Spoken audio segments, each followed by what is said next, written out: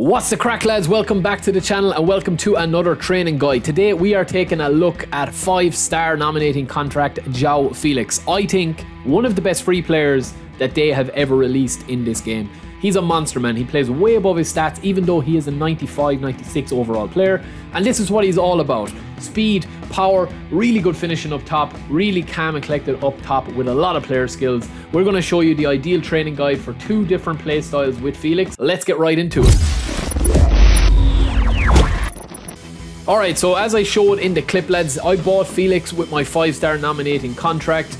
And I think he is genuinely one of the best 5 stars that they have released. Declan Rice obviously was there as well. We had Rudiger way back with eFootball 2022 at the start and eFootball 2023.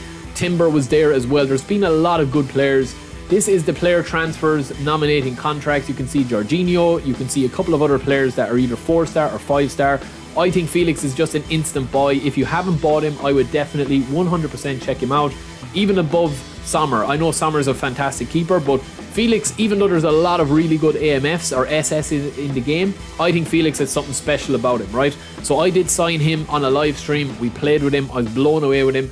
I would put him on par with Simons, but I actually think he's probably better than Simons because of the finishing and because of the levels that you can train him up and the fact that he's got such brilliant motions and brilliant animations that you have him. Um, I think that he's a really, really good player to train up. You have a look at the player skills there, you have a look at his positioning, you have a look at his style, you have a look at everything that he does on the pitch, and you'll notice straight away, lads, the ball just sticks to his foot. Even with comparing him against similar players that have stats that are better ball control or tight possession, this guy just seems the ball seems to be a magnet towards him, right? Now, when we were training him up, and I'll get into the actual training guide in a second, it's only a short video anyway.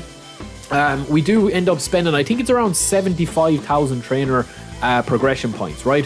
Which is a lot. If you haven't got uh, a lot of trainer points, it is a big investment in a player um, that you're going to be having where you might have a lot of other AMFs. Now, do I recommend him above the likes of Messi, the likes of Neymar? Like, you know, if you were lucky enough to get Nkunku back in the day when he was still in the database and still in the game in eFootball 2023, I think it's hard to say that because obviously Felix is a slightly different player, but he's free and you can get him after only 15 games of playing the match pass, whether you're playing against Sim or you're playing against the uh, you know the matches online or whatever you're playing. You have 15 matches and you have him, and for a free player, I think that's what pushes him above and beyond with this training guide. Now I am working on a full review for Felix, this is a training guide. I just wanted to touch on a lot of the stuff there. This video will be part of my review as well. And we've got two versions of him. So that is the first version of him there. That is going to be a shooting centric kind of attacking midfielder. You saw that is how I built him in the first clip that you saw at the start of this video.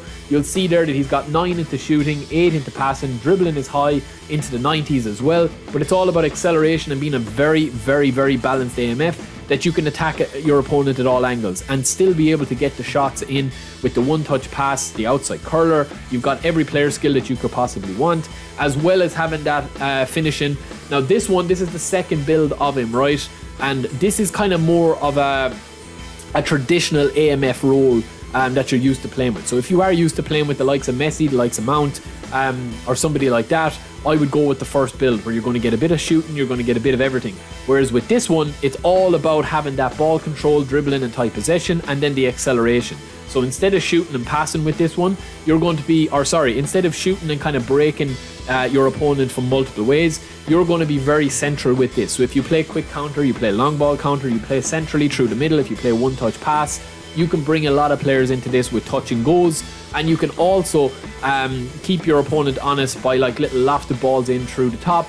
Uh, true balls are extremely overpowered in v2.4 um, it causes a lot of confusion and obviously you know when the passing lane is freed up you'll be able to just slot in with Joao Felix here now he only goes for 94 with this build but I think if you are a pass first AMF uh, and looking for that or a pass first player with an AMF I think he's the way to go so that is the two versions of Joao Felix. Let me know what you think of this guy, but trust me, lads, if you are looking for a top class game changing player, he's your man. And I will be back with my review quite soon. We could have a 10 out of 10 on our hands here, but we'll see. Alright, lads, don't forget to subscribe. I'll be back later. Peace.